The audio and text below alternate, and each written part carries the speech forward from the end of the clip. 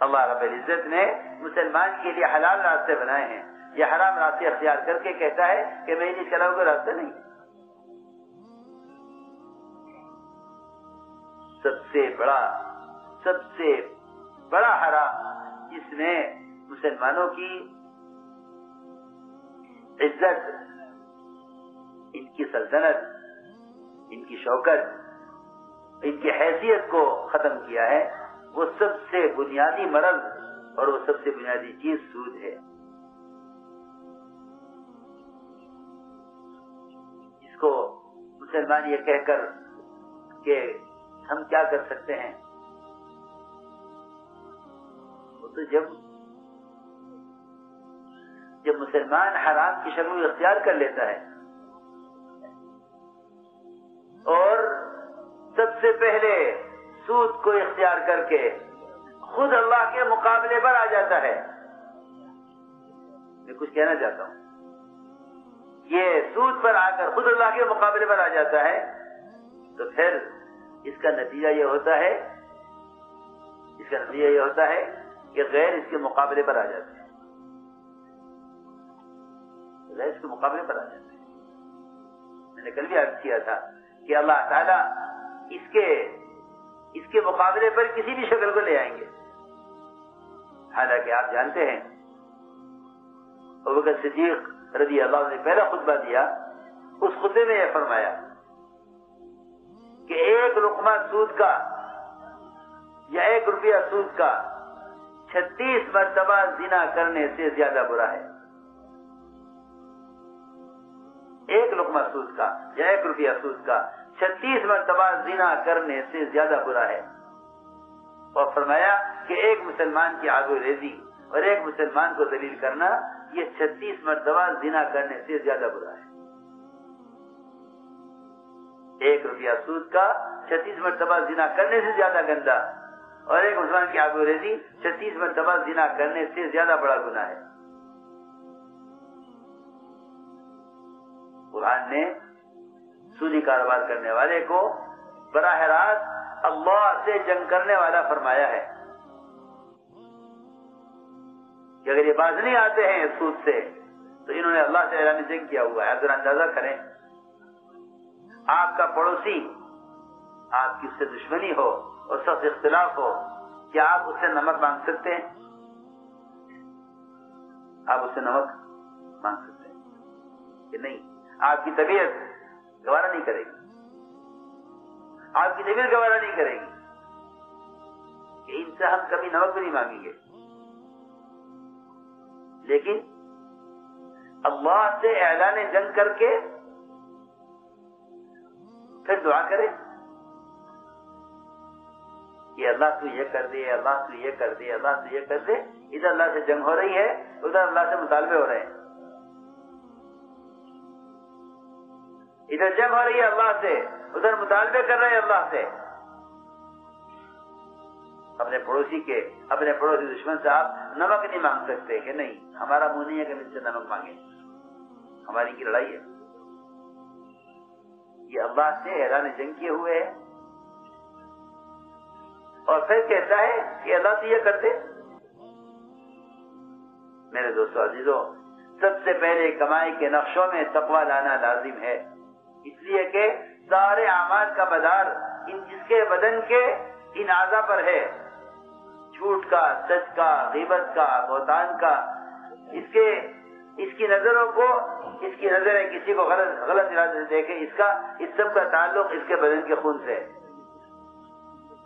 سب کا تعلق اس کے بدن کے خون سے اس کے بدن سے جو عمل ظاہر ہوگا، اس کا تعلق براہ راست اس کی کمائی سے ہے۔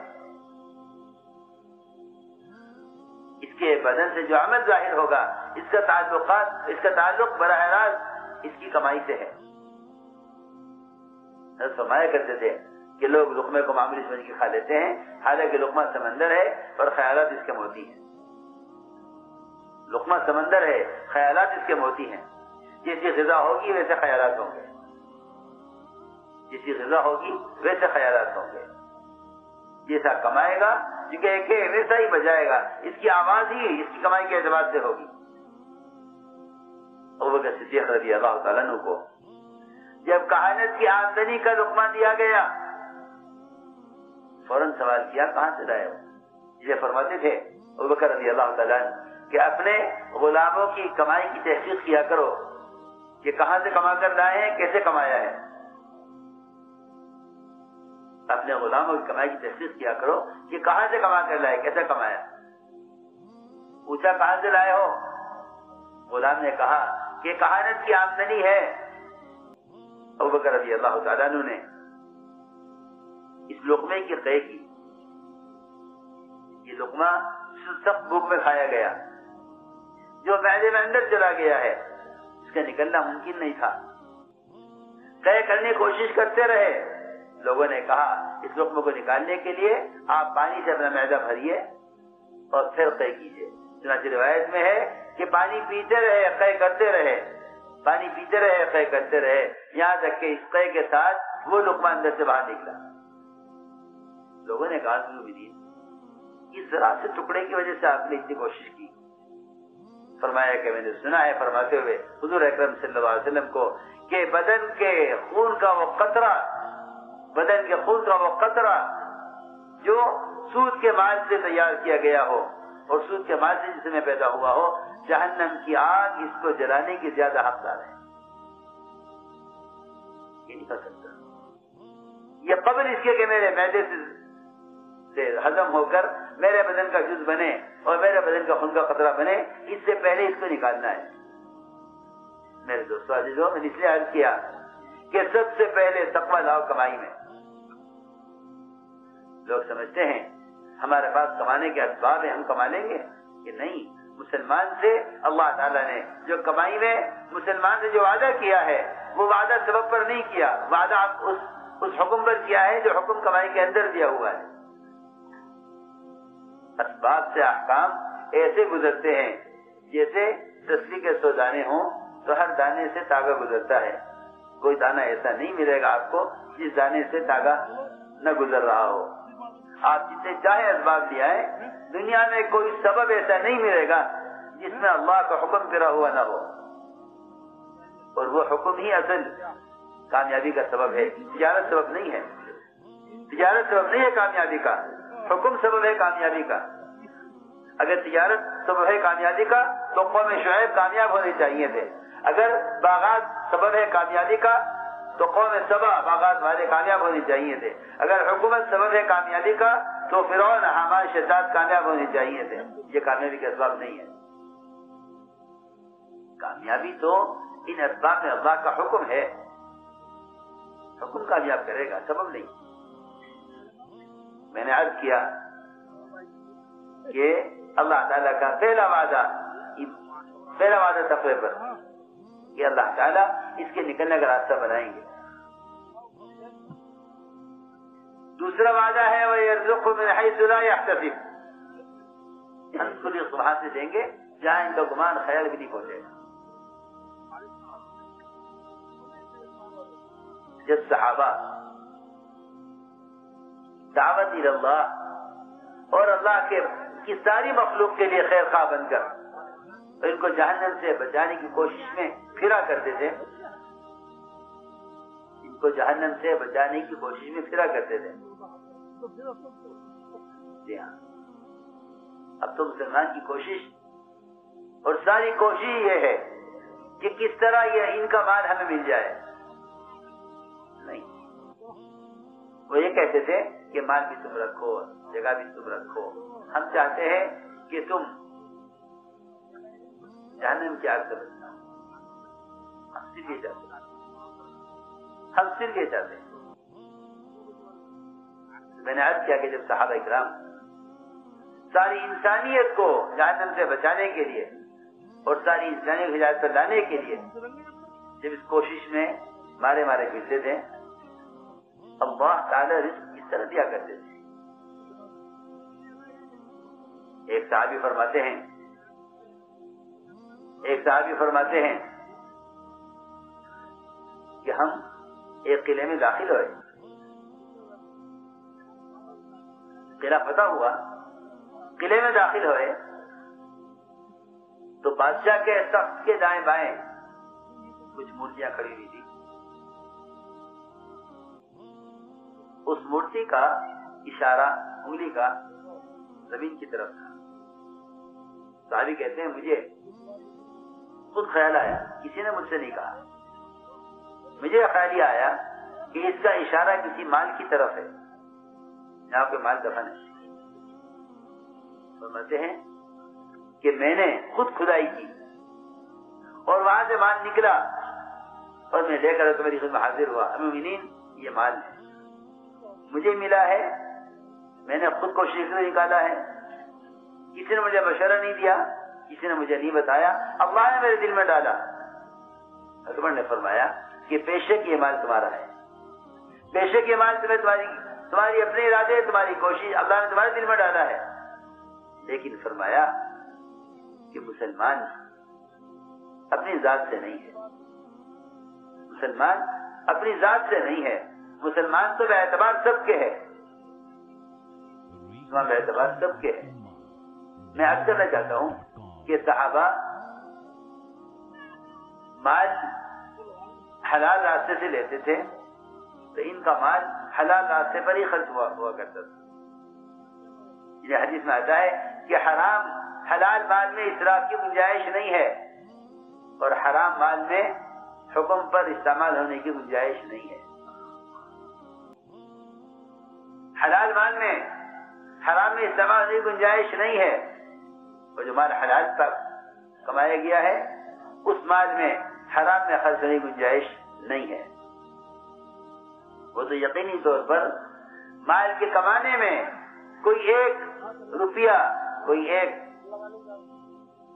آنا، کوئی ایک اٹھنی، کوئی ایک چونی احتیاطی ہوگی یقیناً جو اس کے مال کو حرام کی طرف، اس کے مال کو خواہشات پر خرچ کرا دیا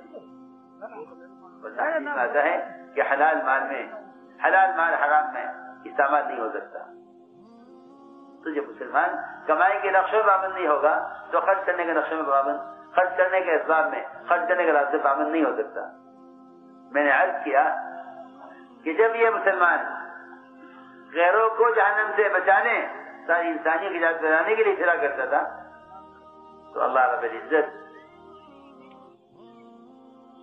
مال کی ہلاکت کے راستے سے، مال کے ہلاک ہونے کے راستوں سے مال عطا فرمایا کرتے تھے۔ صحابی پیشاب کر رہے صحابی پیشاب کر رہے اور چوہا اشرفی لا کر دے رہا ہے۔ ایک اشرفی لایا، دوسری لایا، تیسری لایا۔ روایت میں غالباً سترہ اشرفی لا کے، اس نے دی۔ پیشاب کرتے ہوئے، نماز پڑھتے ہوئے نہیں۔ نماز پڑھتے ہوئے نہیں۔ ہم تو سمجھتے ہیں کہ نماز ہے اس لیے۔ ہم سمجھتے ہیں کہ نماز ہے اسی لیے، تاکہ یہ مسئلہ حل ہو جائے۔ حالانکہ نماز مسائل کو حل کرانے کے لیے نہیں ہے۔ نماز تو اللہ کو راضی کرنے اور اللہ کے قریب ہونے کے لیے ہے۔ الحاجہ کا مطلب یہ ہے کہ اللہ کے قریب آ جاؤ۔ پھر اپنی حاجت کو اللہ کو تو میں نے عرض کیا کہ انہیں سترہ اشرفیہ چوہے لا کر دی ہیں، نماز پڑھتے ہوئے نہیں۔ بلکہ پیشاب کرتے ہوئے۔ یہ وہ اشرفیاں لے کر آج عرض کیا کہ میں پیشاب کر رہا تھا چوہا اشرفیاں لایا ہے۔ فرمایا ہاں اللہ نے تمہیں رزق دیا ہے، کھاؤ۔ مزہ ہے اللہ؟ میں یہ تق اللہ یجعل له مخرجا ويرزق من حيث لا يحتسب جو ہمارے ضابطوں پر آ جائیں گے تقوی پر آ جائیں گے ہم ان کو ایسی کا رزق دیں گے جہاں ان کا گمان خیال نہیں پہنچے گا۔ ایسے بعض صحابہ وہ تھے کہ جن کا باغ سال میں دو مرتبہ پھل دیا کرتا تھا۔ ایسے بھی صحابہ تھے جن کا باغ سال میں دو مرتبہ پھل دیا کرتا تھا۔ کہ ہم ایسی رزق دیں گے جہاں ان کا گمان خیال نہیں جائے گا۔ میں یہ تقیلہ ہے میں یہ تقیلہ ہے مخرجہ وہ رزق ہم وہاں رزق دیں گے جہاں ان کا گمان خیال نہیں پہنچے گا۔ ایک وعدہ یہ ہے کہ تقوی اختیار کرے گا کمائی کے نقشوں میں۔ ہم اس کے کمائی کے نقشوں میں آسانی پیدا کر دیں گے۔ کمائی کے نقشوں میں آسانی پیدا کر دیں گے۔ ہم اس کی کمائی کے نقشوں میں آسانی پیدا کر دیں گے۔ یہ جائل لو من امر ہی یسرا۔ میرے دوست عزیزوں داؤد علیہ السلام۔ بادشاہ بھی تھے، نبی بھی تھے۔ نبوت بادشاہت والی۔ نبوت تھی بادشاہت والی۔ اپنا ذاتی خرچ بیت المال سے لیتے تھے۔ ذاتی خرچ بیت المال سے لیتے تھے۔ اور معمول یہ تھا کہ روزانہ اپنا لباس بدل کر، شکل بدل کر پھرا کرتے تھے لوگوں میں۔